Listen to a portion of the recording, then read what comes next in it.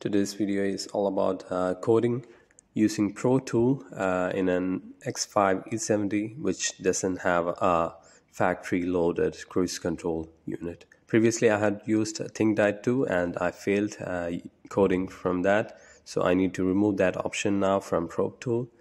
So first thing is that connect it using K plus D CAN cable which is for E series and uh, this is pretty much uh, straightforward and easy.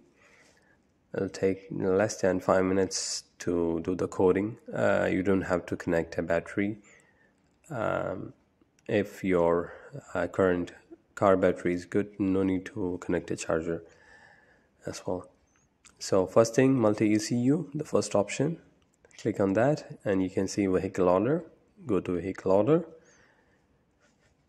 once we are in here you can see all the available options that are already in the car and that has been coded to the car.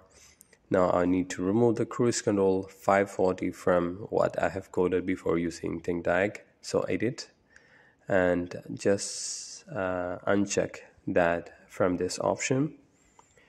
And now I have to go and add 544 which is available from the base option top. Uh, you can scroll through and find 544 once you see that just check that uh, and you can see 544 added and go to it uh, then uh, you can go to current selection and see if it has been added.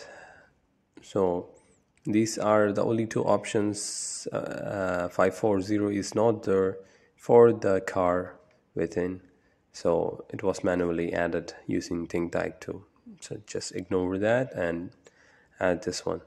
Better to use ProTool. It's easy easiest handy tool. So 544 has been added. Now you have to go to actions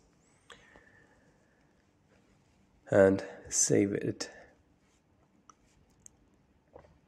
Once you click on save it will ask uh, where all to uh, do the vehicle order change both locations CAS and FRM that is what you need to select. So the vehicle order which has been changed is getting affected in all the modules. It will affect these four control modules which you have to confirm and it will code by itself uh, after identifying. So this is pretty much easy see there DSC KOMBI CCC and HUD which is heads up display because I have heads up display in my car. So just recode that and confirm.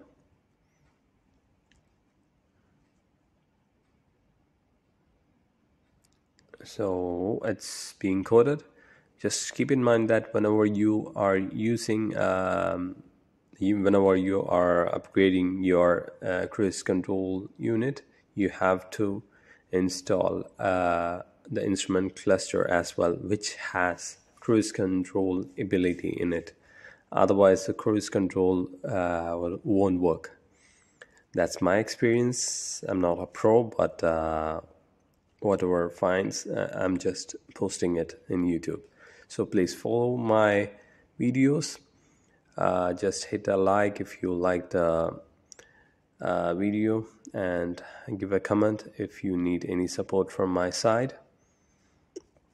Once you do the coding you might get a couple of errors uh, and if your con cruise control is not working just disconnect the battery for like 30 seconds and connect it back clear the codes and everything should work properly.